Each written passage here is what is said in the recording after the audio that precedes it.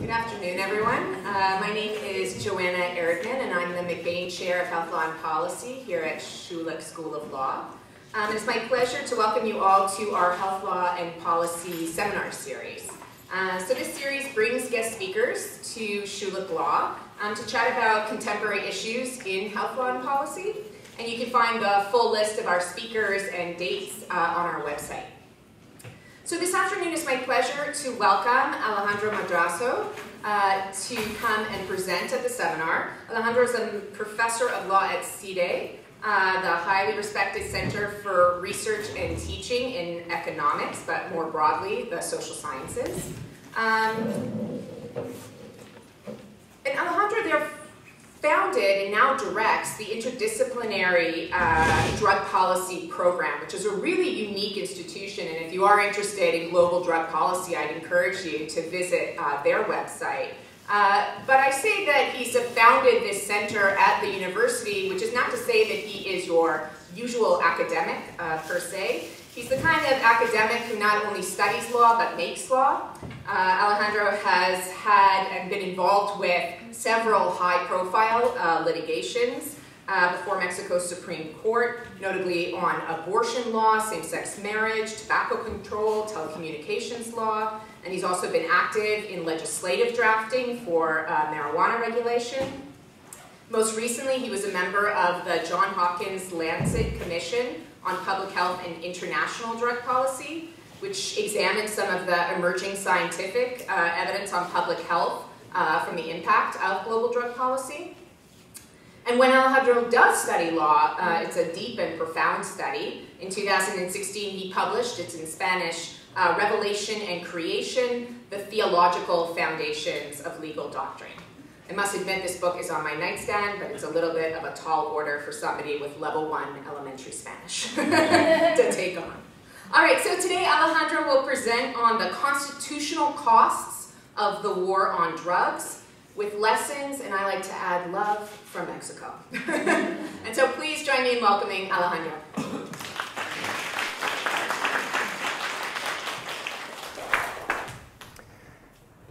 Well, good afternoon. Thank you very much. I'm very grateful to the Health Law and Policy Seminar for this invitation to the institution, to Joanna for her kind words um, and, and hosting. Um, so here's my plan for today. First, I want to shock you. So I'm going to throw at you some data which I hope will provoke uh, strong reactions on your part. Um, then I'm going to try to bring that into a conversation about how drug policy in Mexico has changed law. So this is not a talk about health law so much as how a health policy, because drug prohibition is at least framed as a health policy in Mexico, affects law, and specifically how it affects the constitutional order, the very foundations of the constitutional order. Uh, to a great degree, what I'm going to tell you is a story of how a um,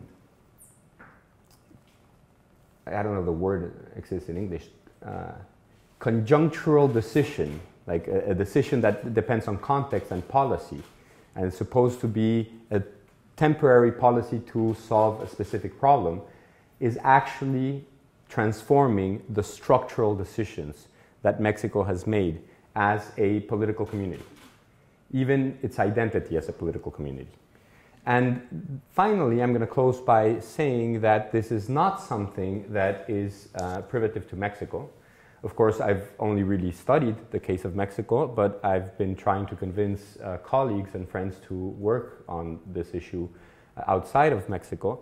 And I've gotten a Colombian to sign up. So we've now done two case studies, Mexico and Colombia, and we're working on a colleague in Georgetown to do the United States hopefully some of you may be inspired and think about Canada in this way, although I really hope that Canada is not a good case study for the constitutional cost of the war on drugs or the notion of constitutional cost um, for your sake. So, so, so let me begin. And uh, I, one last piece of, of uh, warning. My work is based mostly on the theoretical and analytic uh, uh, apparatus for trying to make these phenomena visible. The data you're going to see is not my research. I'm uh, piggybacking on colleagues' research uh, from uh, my university mostly. And this is part of what the interdisciplinary program in drug policy is trying to do, you know, to try to get a much more intense dialogue between different disciplines. Um, so we're going to be looking a lot of uh, uh, data drawn from sociology, uh, but the reflection comes from constitutional theory. So here we go. So the first thing I want to present to you are red lights. Now, some of you might have, have heard, I'm pretty sure, about Ayotzinapa. Ayotzinapa is the poster basket case boy for Mexicans uh, uh, for our drug, uh, war on drugs. Uh, it was about, uh, it, it, it, happened uh, two years ago. 43 students who were studying to become teachers were kidnapped by the local police in a mountain city in Iguala and they disappeared. They haven't been found since the, the research, uh, the, the, investigations that the Attorney General's office um, made have all been discredited by international investigators, including the uh, human rights uh, system. Now, that case was very scandalous because it was very directly police kidnapping students and then having them disappear this became quite a scandal, but I think it doesn't portray the problems that we have with the war on drugs as neatly as a case that became scandalous a couple of days before does. And that case is Tlatlaya. Tlatlaya is a small mountain village in near Mexico City, about an hour 40 minutes near Mexico City. And in June 30th of 2014, the media reported a clash between the army and, purport, uh, and supposed organized criminals. 22 civilians were killed and there were no detainees. Now, that off the bat sounded suspicious to many of us who had been stu uh, studying the war on drugs, but it basically went by unnoticed by national media. In September, on September 19th, there was a, the publication of a report in which a witness came forth claiming that 21 of the 22 civilians that had died had been executed after surrendering. They hadn't died in the course of the gunfight, but had been executed by the military. Now, this is why I think this is uh, um, uh, a better illustration of the problems with the war on drugs. The chain of command in this case is very clear. It was the military directly under the chain of command of the federal government, and the drug war is a federal enterprise, so to say, so to speak. Whereas Ayotzinapa, it was local police, and it's a far more complex story of uh, uh historical basis of the guerrilla in the 70s and their links to students. So Tlatlaya is, is, is a better illustration of this. I'm not saying it's, it's more abhorrent, but anyway. Um, a year later, after these, after these reports came up, of course, the Human Rights Commission began an investigation. Uh, the media started covering this, and a, a, a trial began. And in that trial, in disclosure, military documents were released. And these military documents which were a few days signed a few days prior to the uh, execution of the 22 people, literally said, troops shall operate massively at night and reduce activities during the day in order to crush criminals during the hours of dark. Now, the operative word here is crush. The word in Spanish has, is equivocal and can mean humiliate, but it can also mean kill. Now, throughout the war on drugs, that has been the word used by specifically the president, the previous president, the previous administration, but by basically all authorities to, uh, as a euphemism to speak of civilians killed in combat. So the word that was used in the document has a very steady record of being used as killings.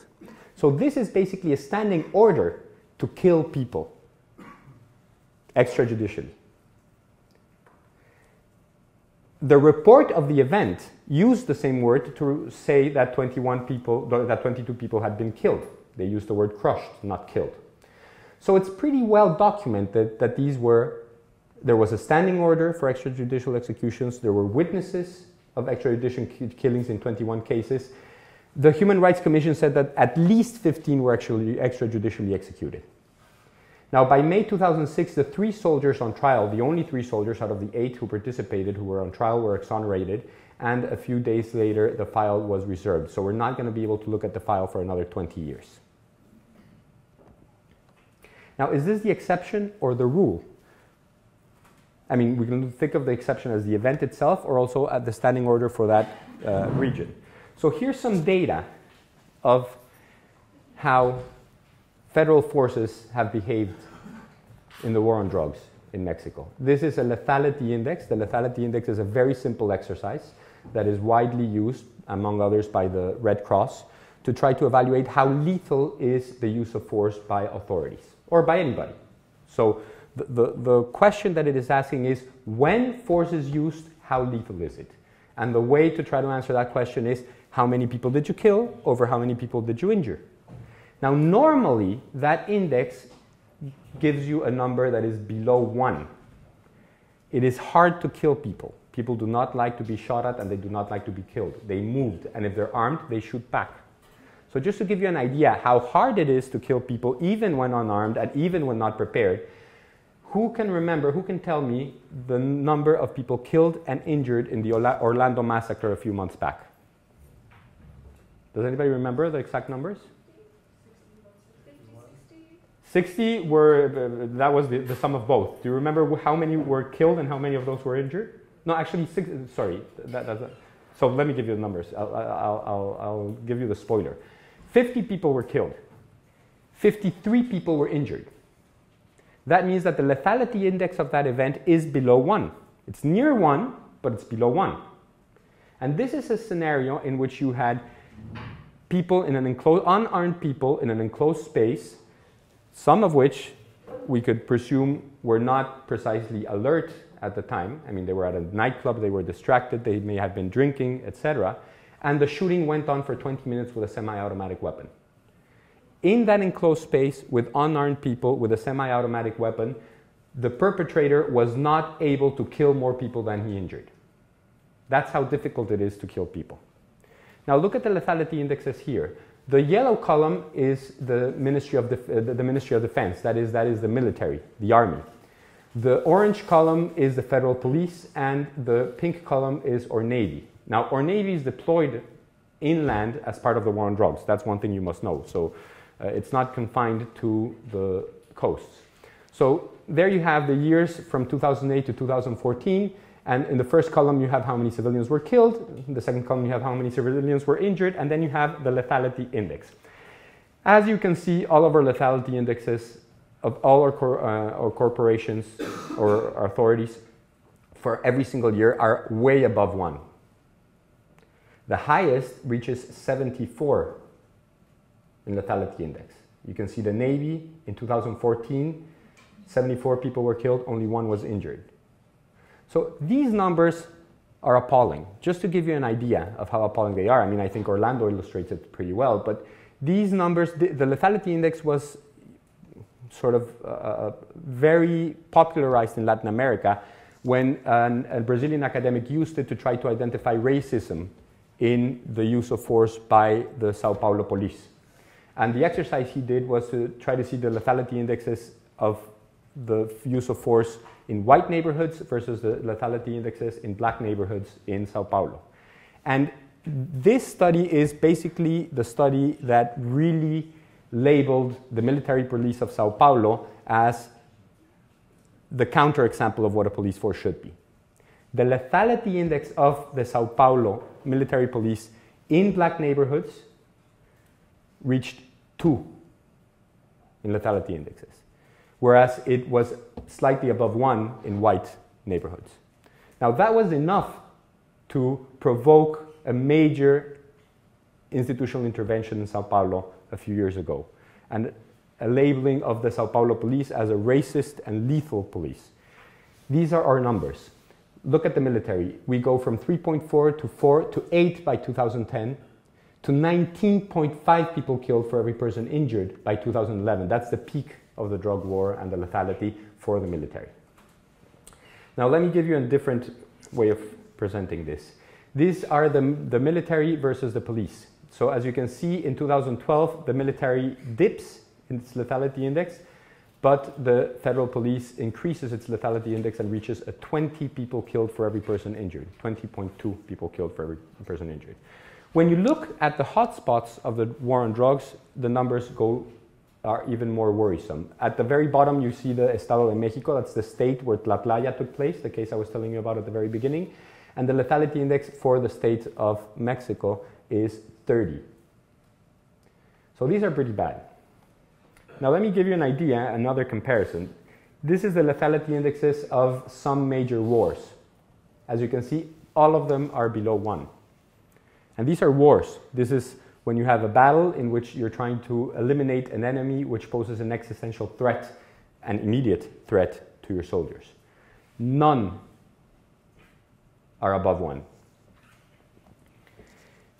A bit more comparable, but not quite, are massive shootings of unarmed civilians.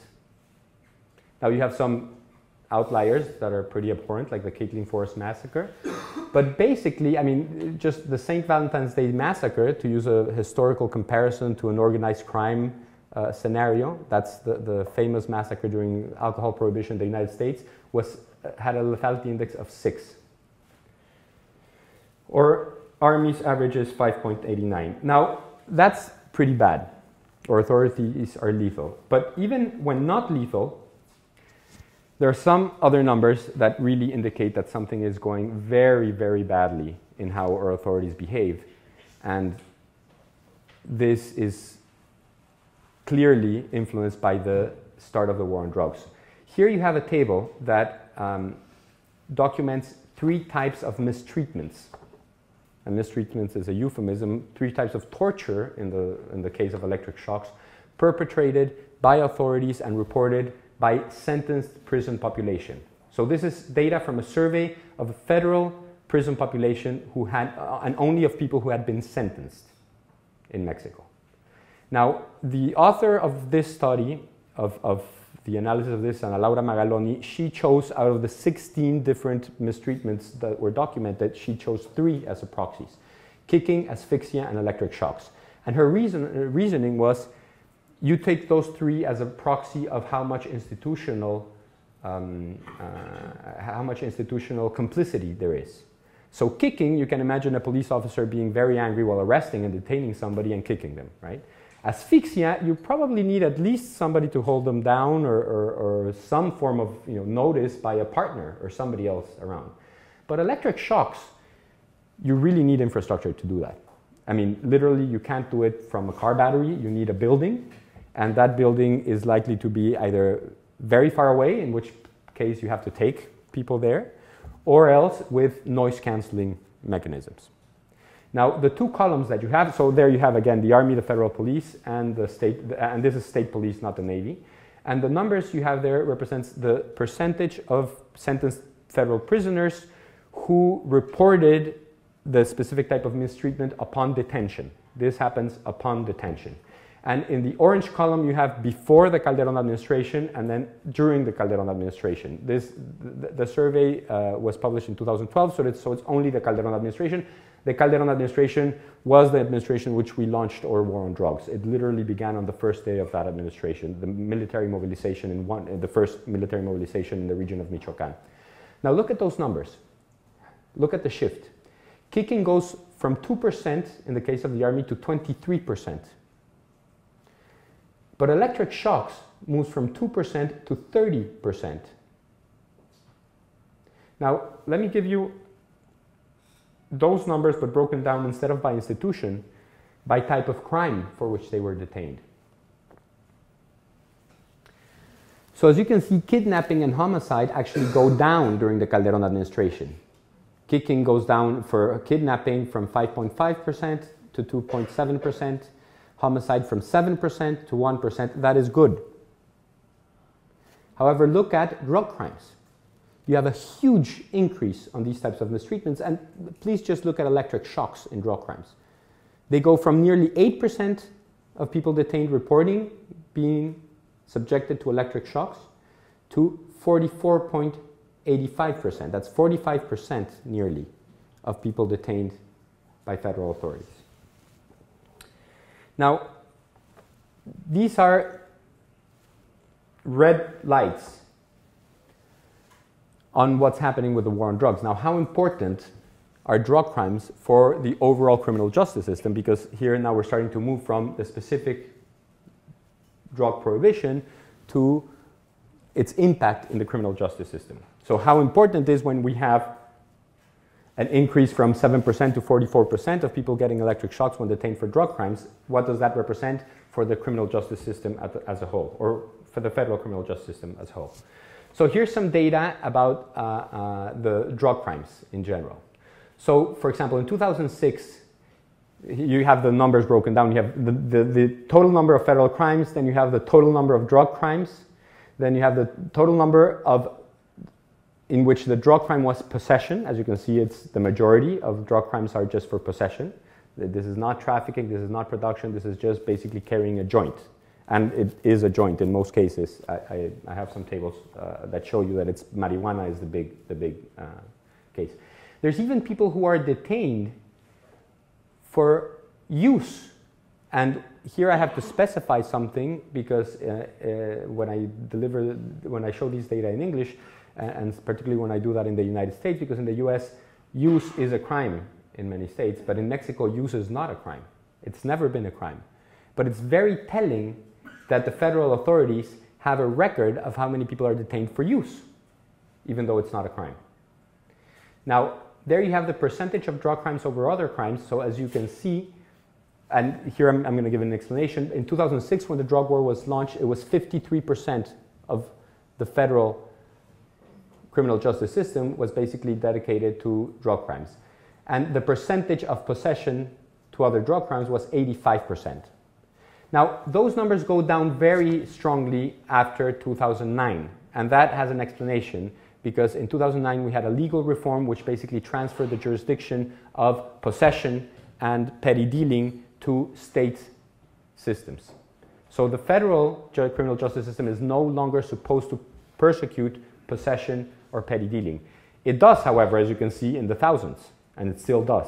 But most of the, those numbers are transferred over to, um, to state authorities. That's why those numbers go down. But the point here is that drug crimes are a huge portion of the criminal justice system. And most of those drug crimes are possession. So this should give us some idea of the exposure to the torture that we were talking about. Know? We have, those are the absolute numbers of people who were detained for drug use, again, for something that is not a crime. Now, as I mentioned, the torture, the electric shocks that we looked at in the other table, happen upon detention. So even if you cannot be prosecuted for use, if you're detained for use, there's a good possibility that you're going to be subjected to some form of mistreatment, even very grave mistreatment, which qualifies as torture, such as electric shocks. Now, again, part of this we need to uh, understand in who makes the detentions. As you can see, and this is part of this is already leading up to the idea of constitutional costs, the army detains one in every four people in the federal justice system. Now, why the army? That's part of the problem. That's one of the questions I want to address. It shouldn't be the army who's detaining people for many reasons. The army is not trained to do police work. They're not armed to do police work. They're trained and armed to carry out wars. When you do police work, you have to detain civilians in order to subject them to trial. When you go and fight a war, you have to kill enemies. That's the basic logic of the two different functions. Now, again, uh, let me just wrap this up, and this is uh, so that we get an idea of the importance of drug crimes in the federal uh, in the in the justice system. 60% of people in, sentenced in federal prisons in Mexico are there for drug crimes. It's followed closely by weapons. In Mexico, it's illegal to carry weapons uh, above a 22 caliber gun, and so that's that's 24%. So those, between those two, you're looking at the bulk of the war on drugs um, uh, efforts. People are usually detained either for possessing drugs or possessing weapons. Now, what type of drug crimes is also interesting to look at because if you put together possession and transport, you hit the 60% mark. Now, the difference between possession and transport is very arbitrary and it's determined basically by the detaining officer. Transport is not trafficking. Trafficking is the bulk movement of the drug.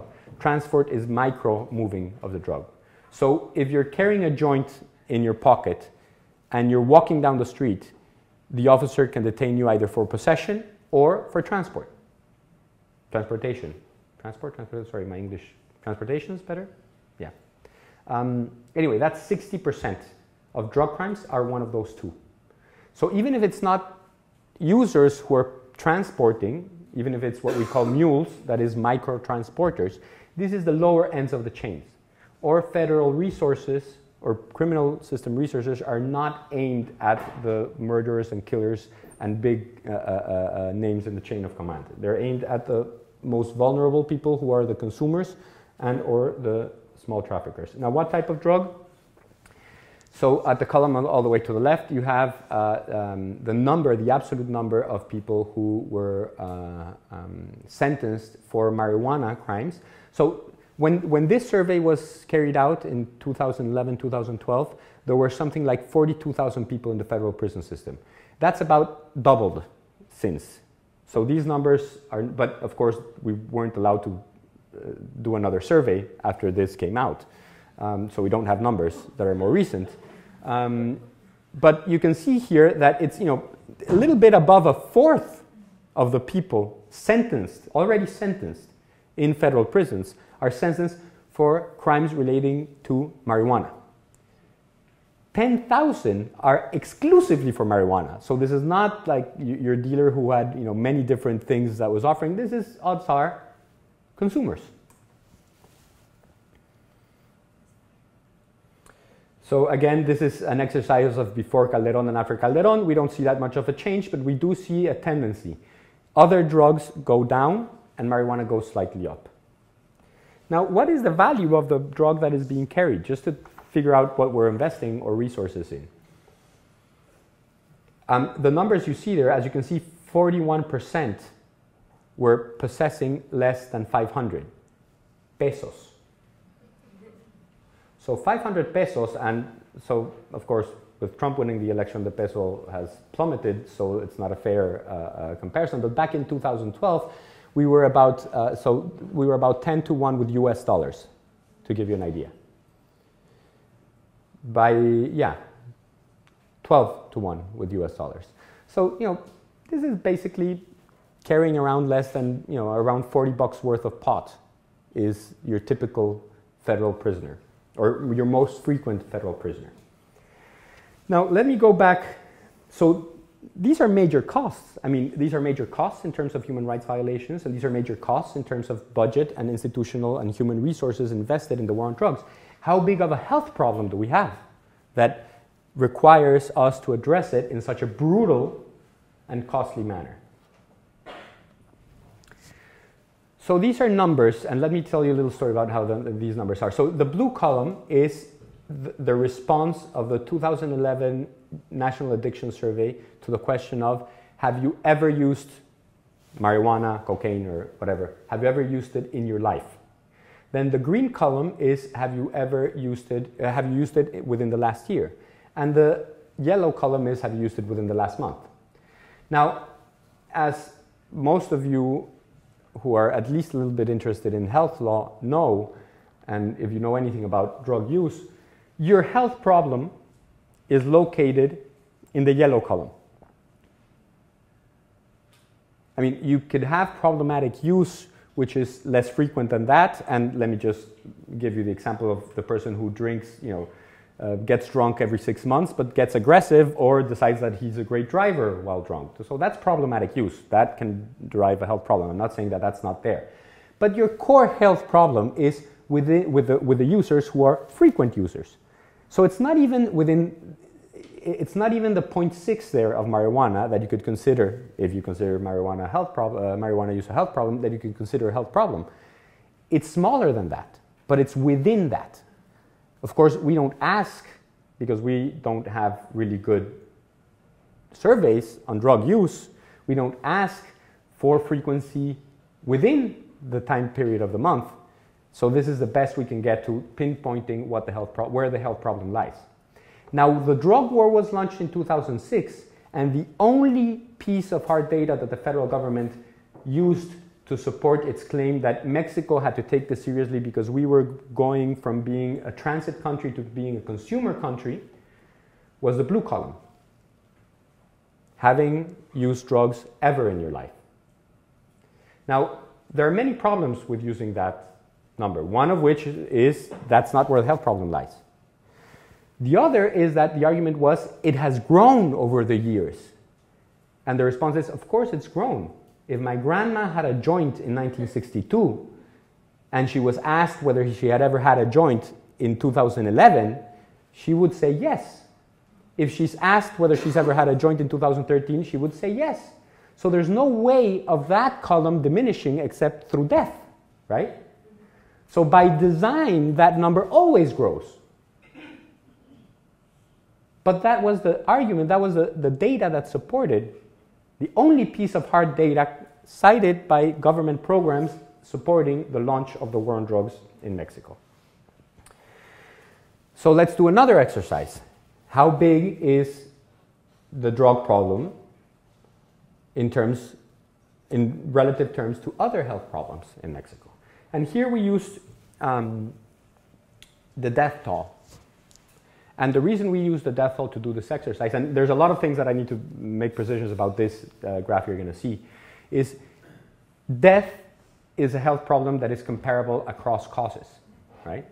It's very difficult to assess, and you know, epidemiologists do this, but we don't have any epidemiologists uh, at our drug policy program, unfortunately. We've tried recruiting them, but no epidemiologist has ever worked at my university.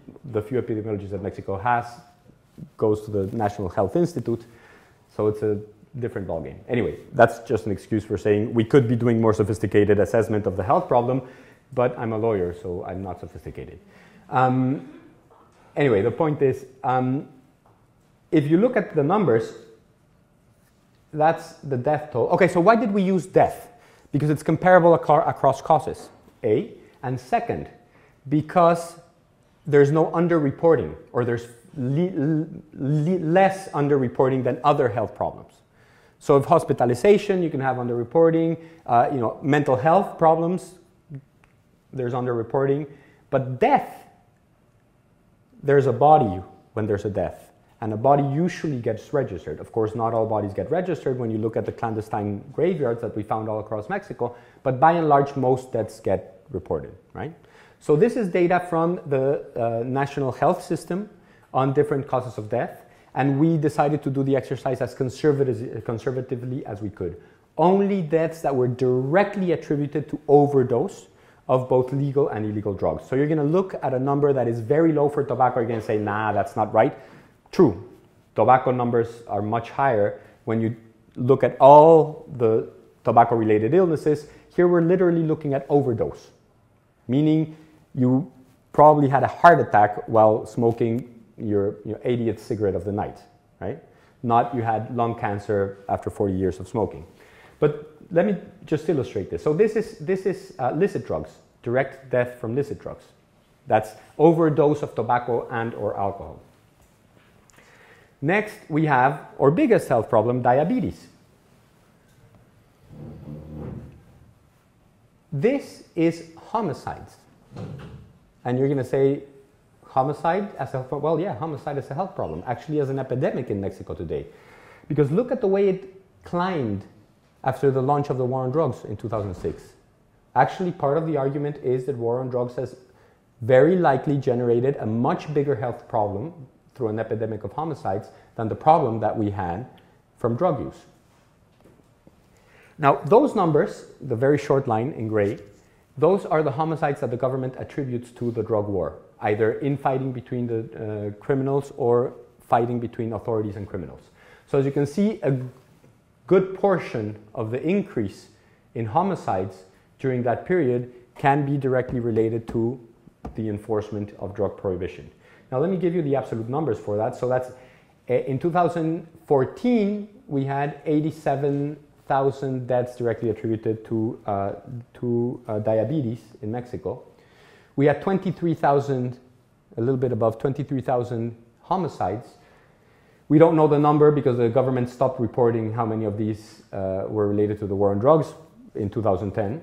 But in 2010, we had 15,000 homicides, deaths resulting from the war on drugs, according to the government. 2,500 for illicit drugs. Again, this is not lung cancer, but rather a heart attack. Uh, and a grand total of 70 deaths resulting from overdose of all illicit drugs. So let me further delve on the issue of homicide as a major health problem. In 2009, for the first time, car accidents were debunked as the primary cause of death in ages 15 to uh, in, in, sorry in ages 15 to 29. In 2009, homicide became the principal cause of death in ages between 15 to 44 years of age in Mexico. So for that age range, our primary cause of death is violence.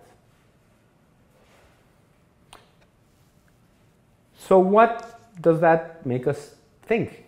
There's been great efforts to tally the costs of the war on drugs in terms of budget, in terms of divestment in economics, uh, in terms of imprisonment and what that costs, in terms of human rights and discrimination, uh, etc we think that we should add one tally that is called the constitutional cost of the war on drugs.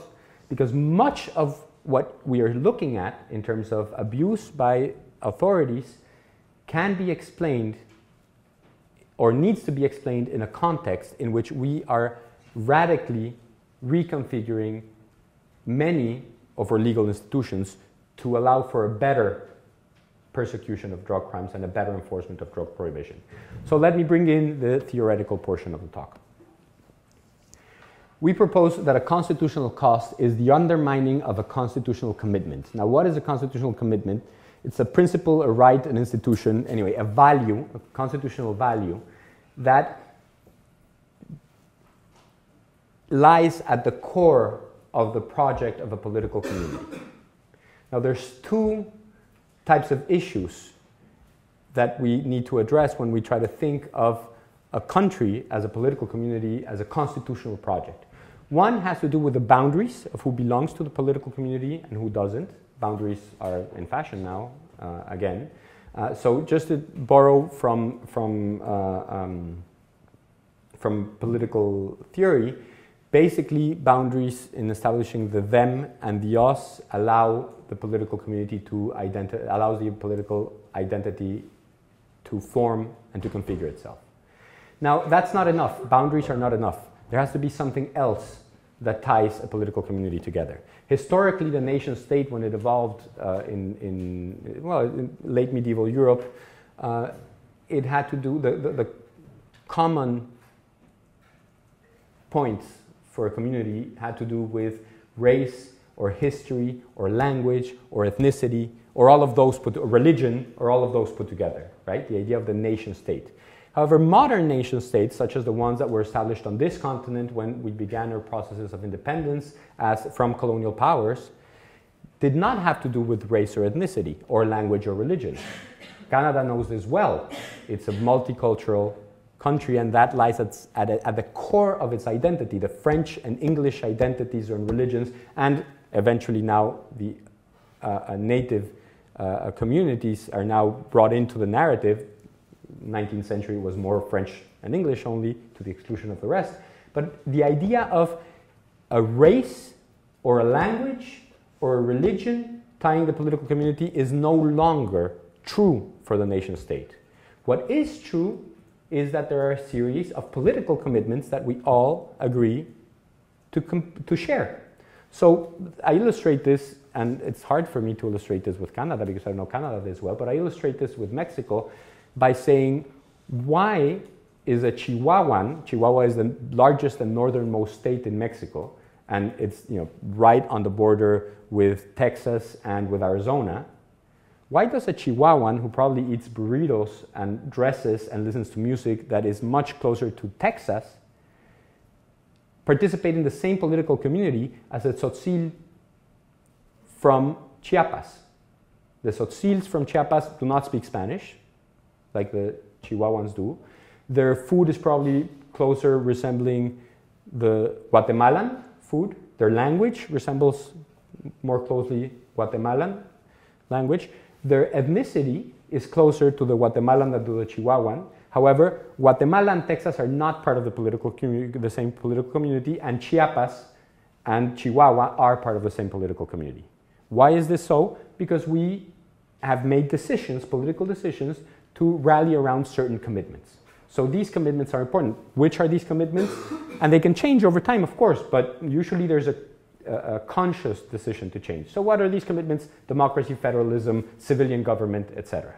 Now the idea of a constitutional cost is to try to identify a phenomenon that is different from unconstitutional laws or institutions or practices. Because as we will see, some of the constitutional costs, at least in Mexico, have been embedded in the Constitution. And it is also, we're trying to identify with, with the idea of constitutional cost something that is different from uh, unconstitutionality and something that is different from constitutional change. So, what has to happen for a constitutional cost to occur? It doesn't matter if it's in the Constitution or in a law or it's just a practice.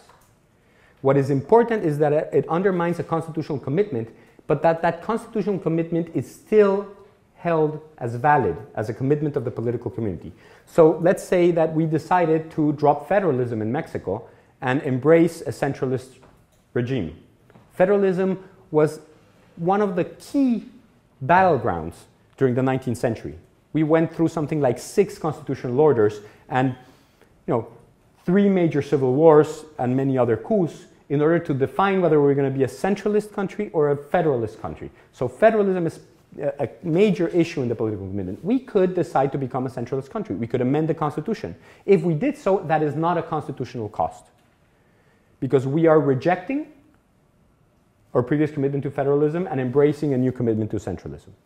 The problem is when you simultaneously affirm federalism, but then you undermine it through laws or practices. So let me give you two examples. In Mexico, we held, and this I think was part of our core constitutional commitments for most of the 20th century, the national monopoly, national public monopoly on oil. This is, I mean, just to give you an idea how important this was, we celebrate our Independence Day. We celebrate the Cinco de Mayo, which is when we defeated the French when the French invaded. We celebrate the birth of one of our most important presidents. And we celebrate the day in which we expropriated the oil companies from the British and American enterprises. It's a national holiday. It was that important in 1938. Now, two years ago, we amended the Constitution and decided to withdraw from the idea of a public monopoly on oil. That is a constitutional change, that is not a constitutional cost. A constitutional cost, and we will look at it, is when we decided in 2009 that for the first time since the last centralist regime in 1953, we were going to have the possibility of federal Congress dictating state criminal policy. Now, I know here in Canada, criminal law is a federal jurisdiction, and that's fine, and there's many good reasons why that should be so. But in Mexico, since 1853, we had had absolute autonomy on the part of the states to determine their criminal policy until 2009, when the war on drugs justified a constitutional amendment to create what we call now concurrent criminal law, which is basically criminal law that the federation defines, but that the states have to carry out and implement. And that's the, the, the reform I was alluding to when the jurisdiction was shifted. So this is an illustration of the constitutional costs. And please appreciate, because it took me a very long time to figure out how to draw and use colors. And so I'm going to go back and forth so that you truly appreciate it. So this is, you know, a political community, right? There's the us and there's the them, and there's a clear boundary between the us and the them. And if somebody is uh, not a threat and outside to the political community, she's an alien. And if she's not a threat and she's inside the political community, she's a citizen. If she is a threat of some, of some sort outside the political community, she's an enemy. And if she's a threat of some sort within the political community, she's a criminal. Now, the difference between criminal and enemy is very important because the criminal is depoliticized by definition, and the enemy is politicized by definition. The enemy threatens, at least in our imagination, threatens the political community existentially threatens the political community. That's why it's justified to eliminate an enemy. Whereas the criminal doesn't threaten the political community, the law depoliticizes the criminal and treats, just, uh, uh, uh, treats her as just somebody who infringes the law. And the law punishes the criminal, but it also protects the criminal because the criminal is part of the political community. It does not protect the enemy. There is some protections under international law, but that's a whole different ballgame. There is no national protection. The law does not protect the enemy as a core function. It does protect the citizen as a core function. Now, what happens, and of course, there's a constitutional com- commitment such as presumption of innocence, due process, republican government, federalism, right to privacy, you know, right to health. In Mexico, we have right to health as a constitutional right. With a constitutional cost, what happens is this the boundary becomes porous, and the criminal is pushed out of the political community and pushed into a figure akin to the enemy. Now, how do we do that? How do, do we push the criminal outside of the political community? Well, one way, is, one way is speaking of the criminal as an enemy or by opposition to citizens. There's a famous phrase when President Calderon, who launched the war on drugs, uh, uh, reinaugurated a park in Ciudad Juarez. He said, This park has been reclaimed for citizens, not for criminals. Wait, wait, wait. Criminals are citizens, right? Well, how do we know where they're citizens? Well, they're detained, they're not killed. They are detained by the police, not killed by the military. So when you take the military to persecute the criminals and you tell the military to kill them, what you're doing is you're treating the criminal as an enemy. So you're modifying your political commu- community because you're pushing part of your political community outside of the political community and you're politicizing them in doing that. So the border becomes porous, but also the commitments tend to disappear. Here, I'm going to go back so that you appreciate my art. Um, you see the bright blue in the right to privacy, how it pales down? Well, that has happened. We have adopted laws and adopted constitutional clauses that allow for those laws to happen, in which first we said, okay, so we need to be able to have georeferencing of mobile phones. So we changed the law so that the government could ask a judge to georeference, uh, had, had an expedite process, procedure to ask a judge to uh, ask the telephone company to quickly give them the geolocalization of a telephone. And then we had another package of constitutional legal reforms, sorry, of, of legal reforms, non constitutional reforms. And we said, well, you know, we can drop the judge. Why not just have the attorney general ask directly. It has to be a, uh, the Attorney General directly asking for the georeferencing.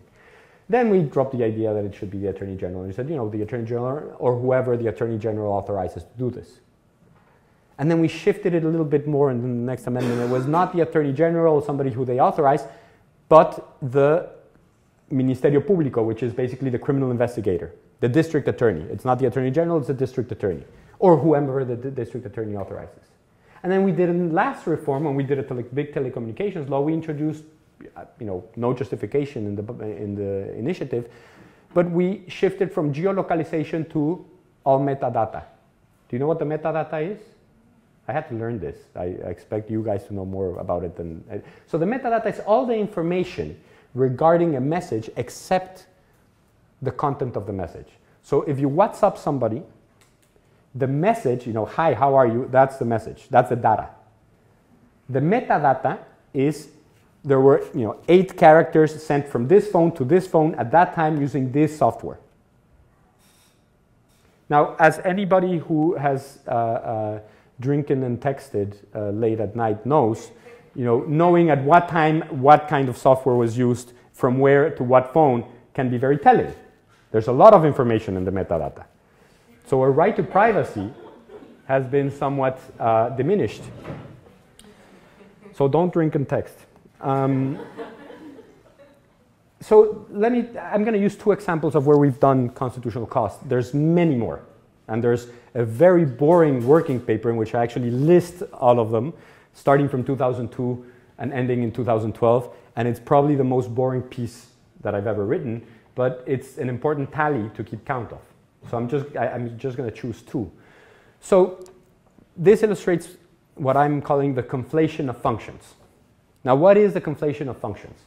When I was young and studying law, I was taught that there were three different categories of security activity, so to speak, which warranted the intervention of three different institutions, which were distinct and separate.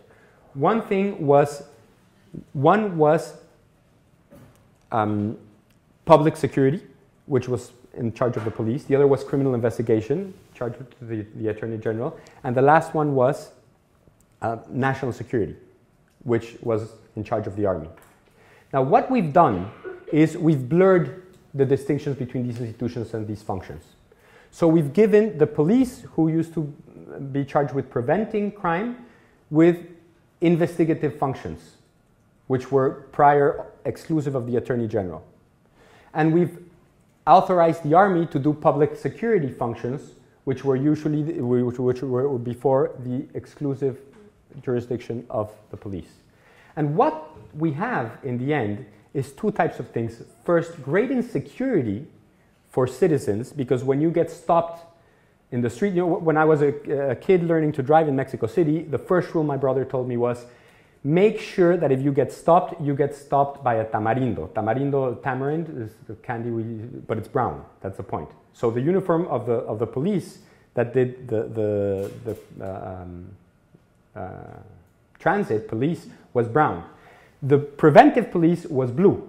And one of the key issues was don't allow the preventive police to try to charge you for an infraction because that means that they're probably trying just to get and extort some form of money from you, right?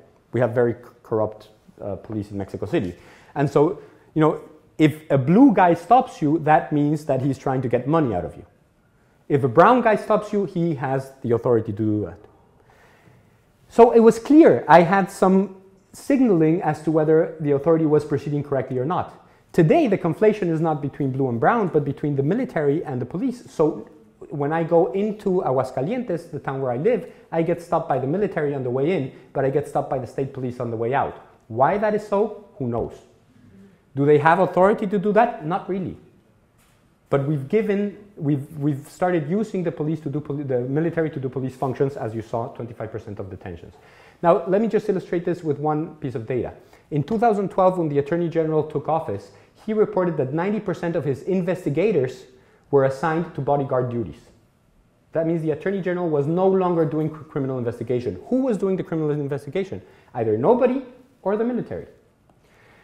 Another example is reduced due process rights, reducing rights. So one is conflation of functions, the other is reducing rights. So what we did in 2008 is we made a constitutional reform and we said it is very, very deficient, or criminal justice system is very deficient, or attorney general's office is not working, and it's not working because it's opaque. We need to make it more transparent. There's very little incentives for them to do their job right. If we make it transparent and we can observe them, they'll have incentives to do their job right. But the president said, yes, but that transparency won't work for drug crimes. I need opaqueness. I need discretionality. So we introduced basically what was a Patriot Act for the United States, Instead of uh, it being an act, we introduced it into the Constitution. And instead of terror, it was drug trafficking. And so drug trafficking is now persecuted under a regime of reduced rights, which include, for instance, the possibility of detaining you without charge for up to, up to 80 days, incommunicating you, or establishing special detention measures which are not specified. Now, there's an expansive thrust of the exception regime. And when we look at the numbers, they're pretty appalling. See, the exception regime is supposed to operate only for organized crime. But when you actually ask the people who are in prison, what you find out is that only 14 of the people that are in prison are sentenced there for organized crime, yet 27% report having been subjected to this detention without charge for up to 80 days.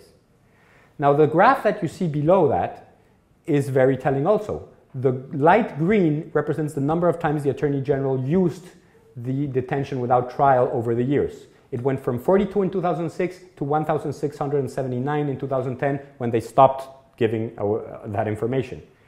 The convictions for organized crime went from 137 to 148. So the argument that we were going to make this more efficacious is not working. Now, is this Mexican exceptionalism? I'm not going to delve too much into this, but no, we have found good uh, uh, data for Colombia, which has had special criminal justice regimes for a long time. And there's also a lot of case law in the case of the United States in which you have a somewhat flexibilization of the discretionality of that police may exercise when dealing with uh, drug crimes. Now, I'm, i want to finish with a little bit, a, a little food for thought. Why hasn't the soldier crossed the road? So let me just put this out there. The most important change in drug policy in Mexico does not require legal change. It requires that we have the military cross the road. Today, and let me illustrate this with an anecdote by my cousin. My cousin did this protest against the extrajudicial executions, and they walked from the southern border to the northern border, sorry, from Mexico City to the northern border. In that trajectory, they were stopped by the military 53 times. On the way back, they were not stopped at all. So we are policing the roads that go north to the United States. We are basically policing drugs so that they don't get to the United States. Now, if they're already in Mexican territory, if they're from, they were produced outside, such as cocaine, and they're trying to get to the United States, but we don't let them get to the United States, what are we doing with that drug?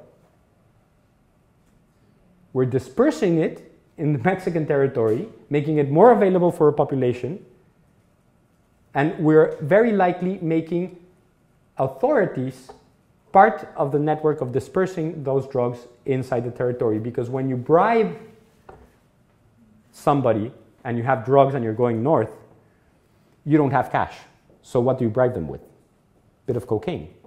But then that police officer that soldier has to either consume it or place it in the local market. Now, why would anybody do that?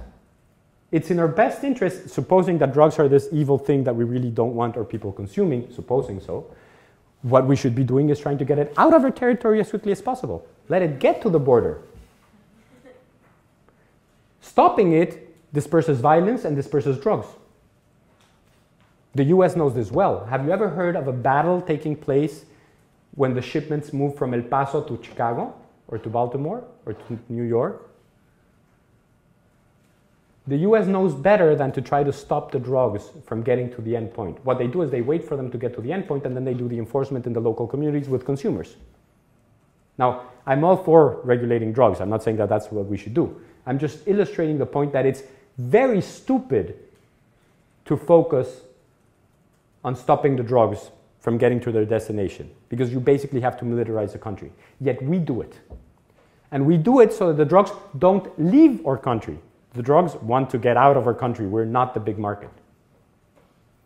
So the more I look at this, the more I see the whole strategy of the drug, uh, war on drugs in Mexico as basically an outsourcing scam of the DEA.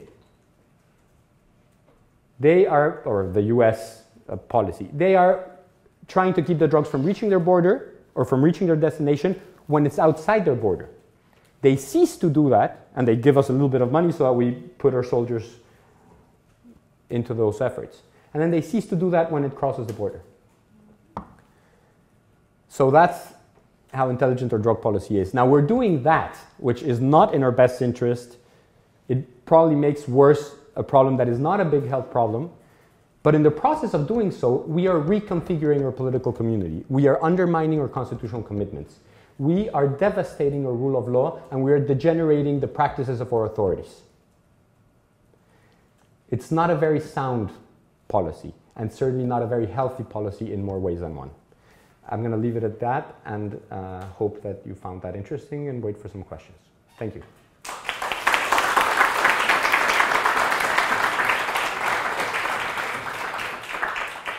Great, thank you very much. So we have uh, just a couple minutes questions.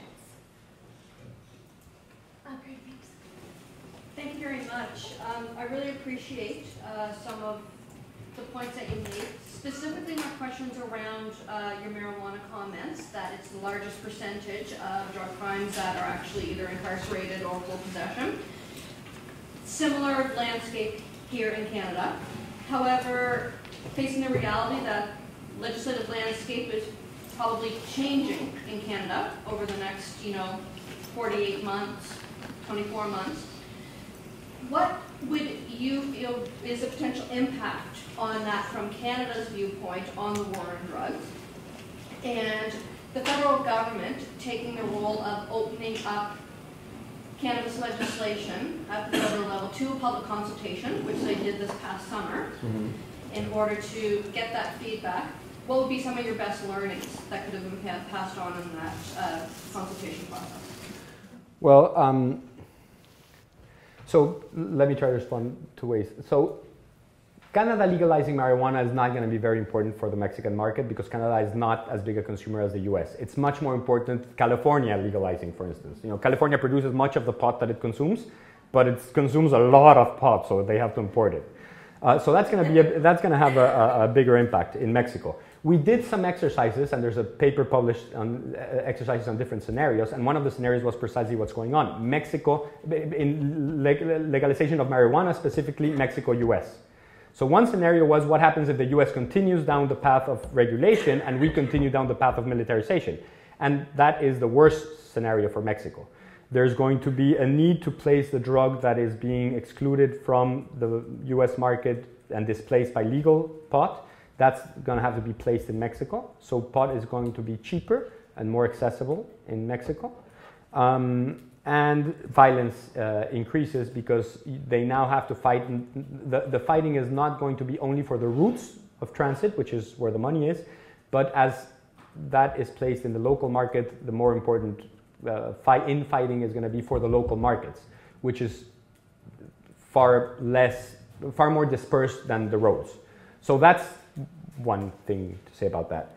The consultation process. Um, first of all, the, the, thing I think we need to learn from Canada is to actually just do it and get on with it. We've, been, we've had a consultation process.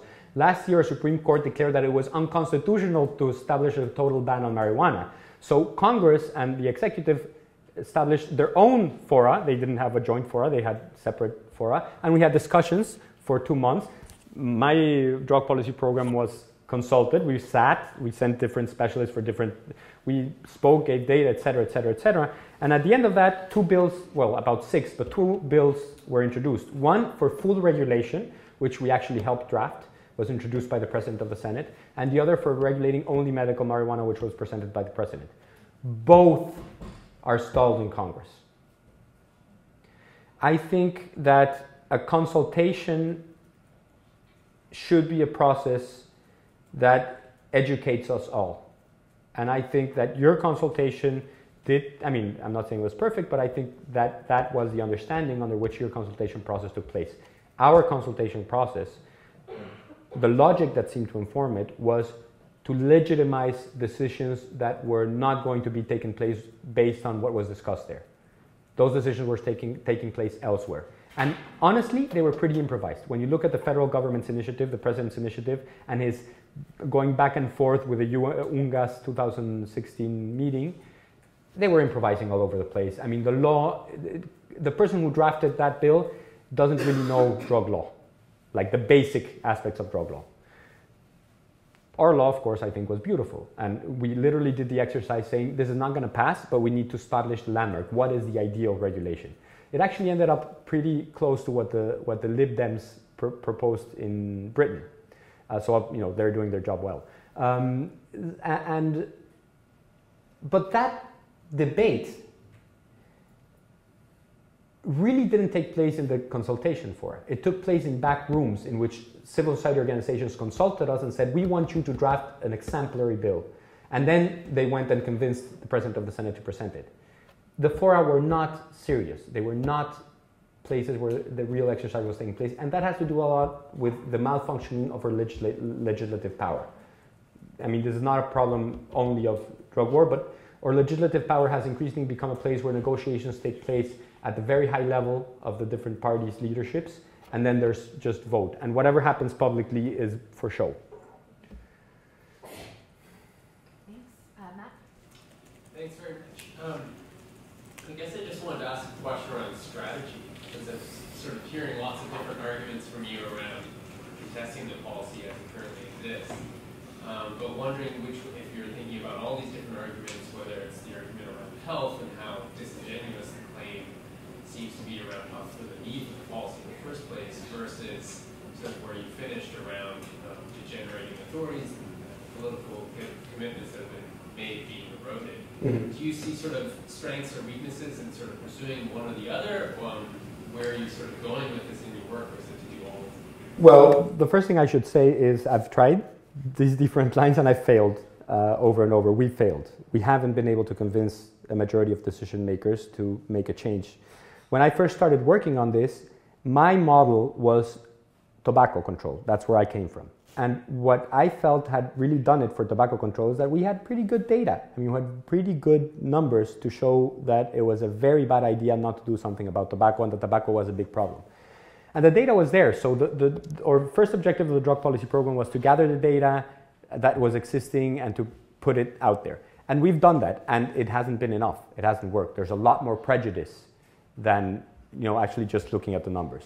So let me again do an anecdote. The people who won the case before the Supreme Court uh, in last November, a year ago, um, they first asked me to do the litigation. The, the, the activists who were working on this looked me up to the litigation for many different reasons, both personal and institutional. I no longer do litigation, so I declined, but I offered to advise whoever they, they got to be the lawyer. When they got a lawyer, we had long discussions, and I said, listen, there's three ways of arguing this constitutionally. The most important argument, I think, is the health argument. If we have a right to health and the policy is doing more harm to health than what it purports to eliminate, then we have a good argument that for health reasons it's unconstitutional. However, the data is not there yet. We don't have the smoking gun yet in terms of you know, the data that needs to be put in place as you have in tobacco with causality. Causality is much more complex in terms of the homicide and the, and the presence of the military. Um, so I, I wouldn't argue that one yet. The second channel you have had just been tried and had failed, which is a very abstract argument, which is very easy for our judges to grasp. Our judges are very formalist, very, very formalist and it's the disproportionate nature of the punishment.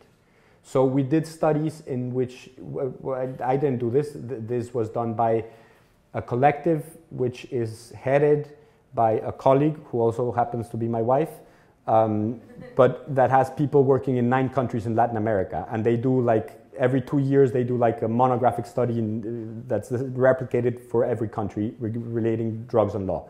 And they did one in registering the punishments for drug use and possession and the punishments for other crimes. And they, just to give you an illustration, we have much harsher punishments for drug possession and tra for transport, for drug transport, not possession, for transport, than for child abuse in Mexico. And so one argument was this is disproportionate. This is also disproportionate in two senses. One, when compared to other crimes, and the other is compared to the harms.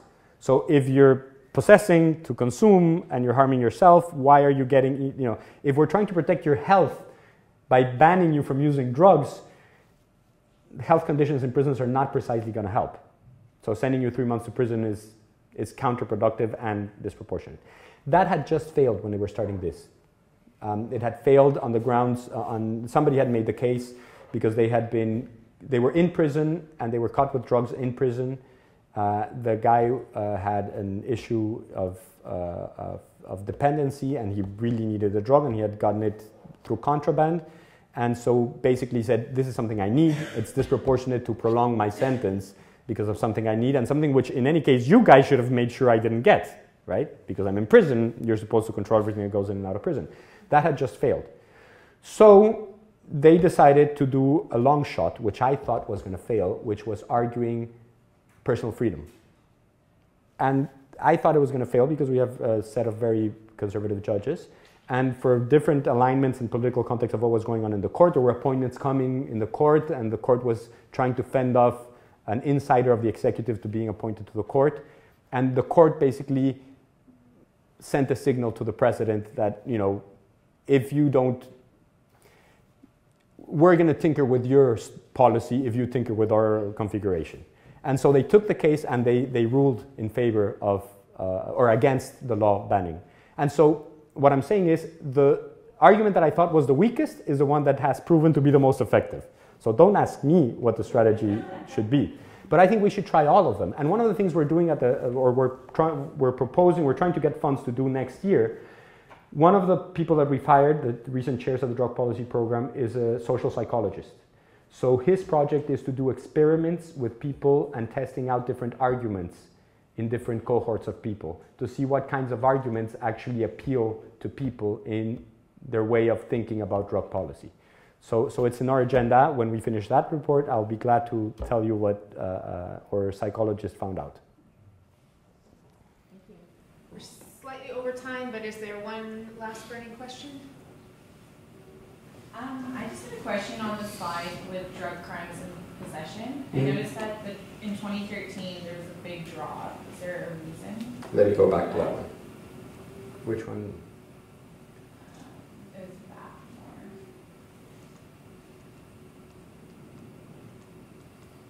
Is it? I have a lot of slides. Very patient.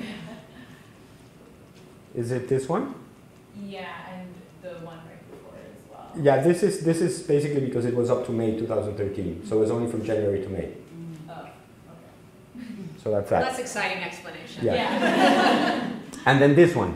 yeah. Yeah, the drop. Uh, well, use stopped being registered because they, they kept reporting the people they detained for use until 2011 when they gave the information, and then we cried wolf. It's like, seriously, you have a category for people you detain for use when use is not a crime? And so they basically shifted the use into possession. They recatalogued that. Um, so that's why that disappears in use. But in general, the percentage that is represented has to do with the fact that the jurisdiction was altered. And starting in 2009 and between 2009 and 2012, states started prosecuting drug crimes, which they didn't prosecute before. So uh, the bulk of the drug crimes, which are possession and petty dealing, were shifted into states' jurisdictions. So that's, and this is only federal. So that's also, I think, not that exciting.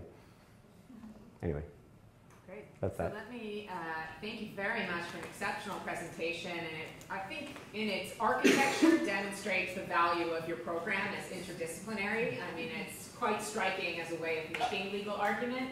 If I can just make one thought, I mean, it's a provocative piece because in some ways I think maybe the main claim is to say uh, this is a war on drugs and to make a government own war in its more than metaphoric sense, right? I mean, you're actually proving the case that it's a true operational war and asking for the political and legal legitimacy of war, not in its cultural metaphoric sense. So it's a striking comment, uh, but I just want to thank you again for offering this, and uh, please join me in thanking Alejandro for visiting us.